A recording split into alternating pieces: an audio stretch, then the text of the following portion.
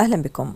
اجتمع مجموعة من قادة العالم في منتجع سويسري في جبال الألب للبحث عن سبل لمعالجة أزمة أوكرانيا.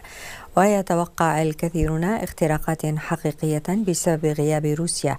حذر الرئيس الفرنسي إيمانويل ماكرون من أن السلام لا يمكن أن يشمل ما أسماه الاستسلام الأوكراني حيث تتمسك كيف بمطالبها التي تشترط مغادرة روسيا كل أراضيها والتي استولت عليها وعشية القمة قال الرئيس الروسي فلاديمير بوتين إن بلاده ستنهي الصراع إذا أسقطت أوكرانيا طموحاتها بالانضمام إلى الناتو وسلمت أربع مناطق تطالب بها موسكو.